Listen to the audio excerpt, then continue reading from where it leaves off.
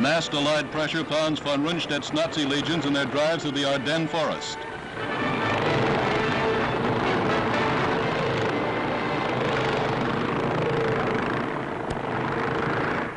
The other enemy the Allies face is ice, covering every road of the shrinking bulge.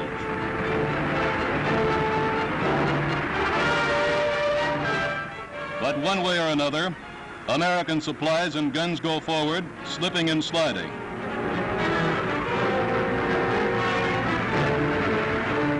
This is war against the weather.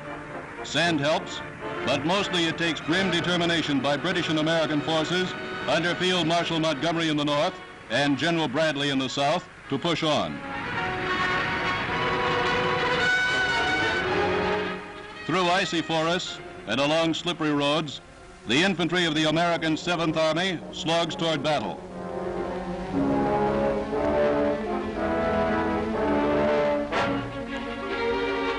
This is one of the unarmed observation planes off to direct gunnery and tank operations from the sky.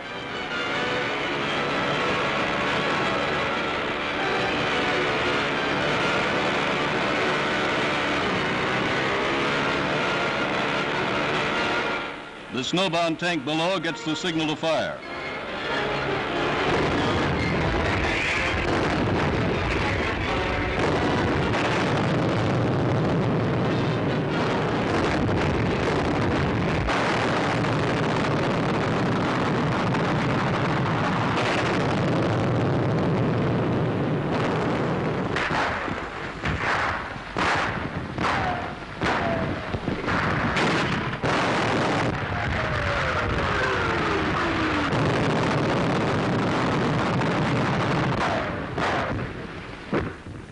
Nazis wearing parts of Allied uniforms are captured.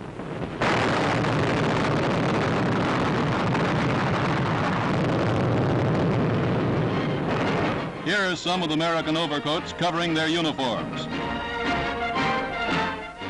The shoe pinches for every German, waking at last to inevitable defeat on every side.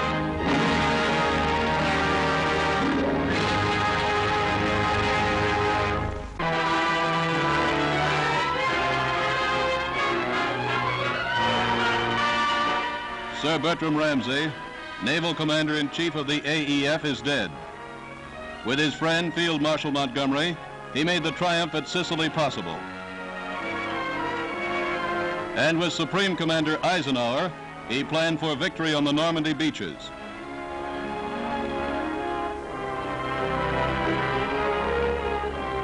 D-Day, like Dunkirk and the African invasion, because of him made military history. Somewhere in France, his plane crashed. And now with the victory he planned in sight, Britain's greatest naval strategist, the man who shaped the pattern of modern invasion tactics, is mourned by all the Allies.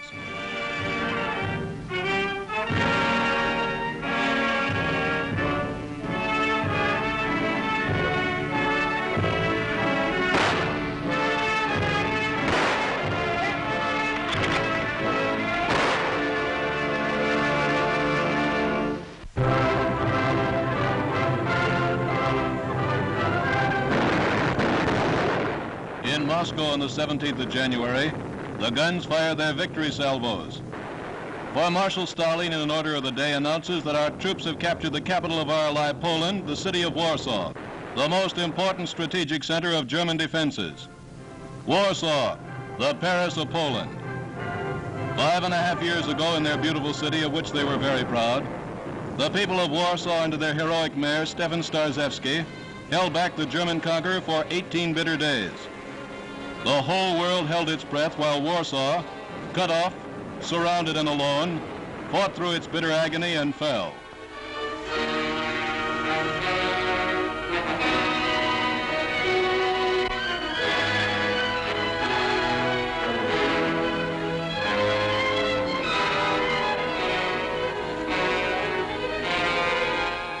The women of Poland watched.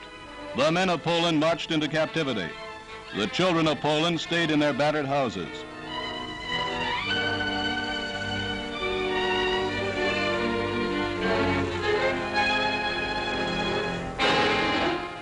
But back from Stalingrad and Rostov, from Moscow and Leningrad, while British and Americans battled in the west, the Red Army launched drive after drive in the east. In September of 1944, they stood on the Vistula, across from five years beleaguered Warsaw. Thank you.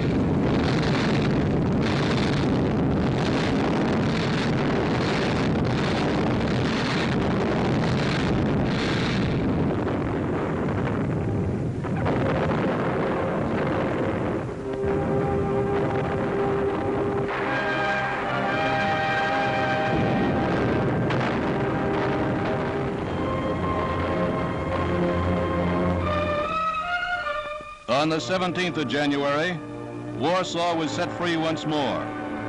Meanwhile, far beyond the city, the Soviet attack drives westward.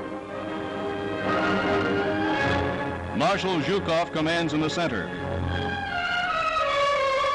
Marshal Rokossovsky in the north. Marshal Konev in the south. In the Kremlin, Marshal Stalin gives them the order, on to Berlin.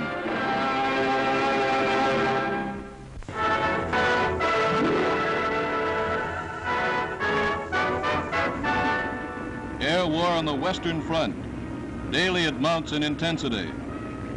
What one combined mission means is shown by these pictures of the United States Air Force in action over Germany, attacking marshalling yards, oil plants, factories.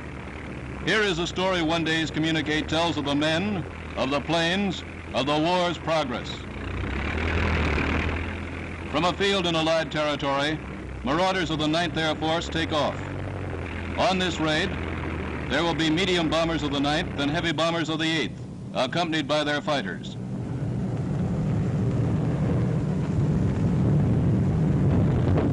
There will be flak.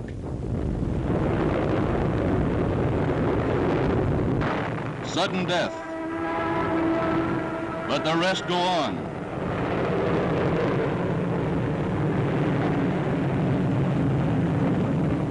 The bombs go on the target.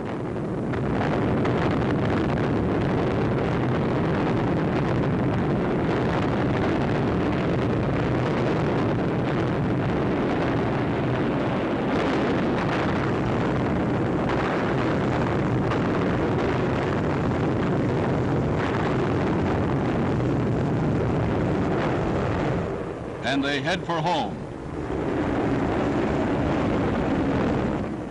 Enemy fighters are sighted, and the American fighter escort dives into action.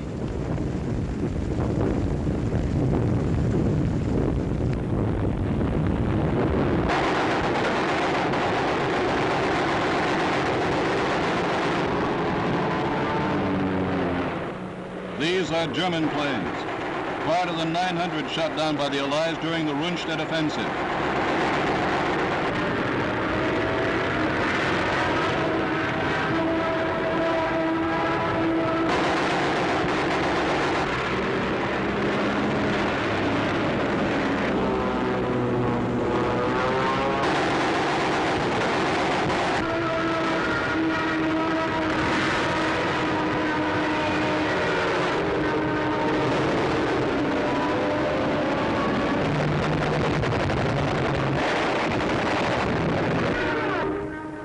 American fortress is on fire.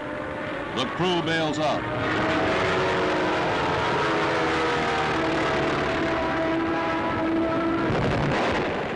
Still, the Germans attack.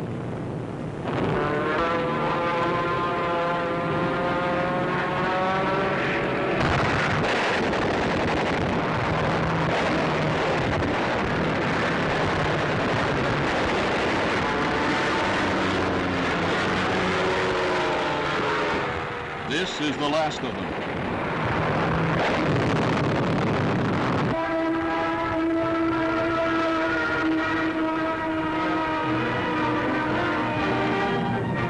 Now it's homeward bound. Communique will read, mission accomplished, such a target bombed, so many of the enemy destroyed, so many of our bombers are missing.